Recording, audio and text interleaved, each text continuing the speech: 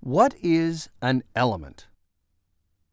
Elements are pure substances that are made up of only one type of atom, such as hydrogen, carbon, or mercury.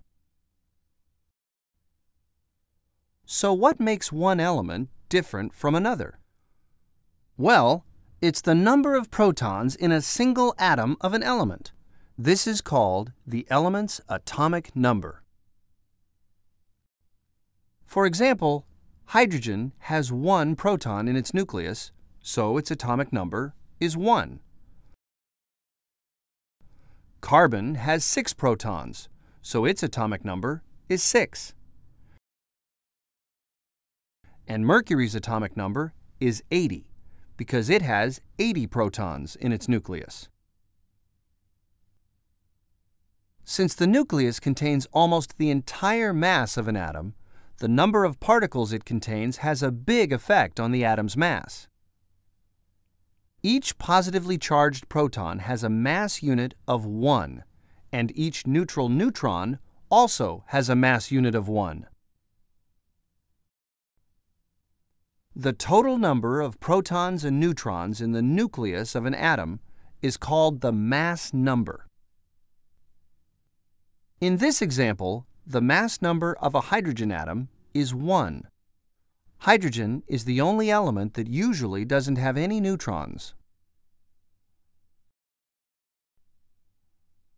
The mass number of this carbon atom with 6 protons and 6 neutrons is 12. And the mass number of this mercury atom with 80 protons and 121 neutrons is 201. Needless to say, mercury is a much heavier element than hydrogen or carbon. Even though every atom of the same element always has the same number of protons, sometimes an element has atoms with different numbers of neutrons. Ordinary hydrogen has no neutrons, but there's a version of hydrogen with one neutron and another version with two neutrons. Atoms of the same element with different numbers of neutrons are called isotopes. The three isotopes you see here are all still hydrogen because they all have only one proton. Since neutrons have about the same mass as protons, isotopes of the same element have different mass numbers.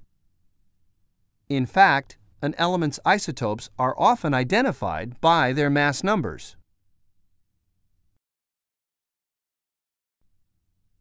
To sum up, an element is a pure substance made of atoms that always have the same number of protons. This means atoms with different numbers of protons are different elements.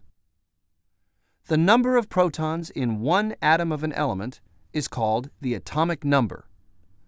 The number of protons plus neutrons in one atom is called the mass number. Isotopes are atoms of the same element with different numbers of neutrons.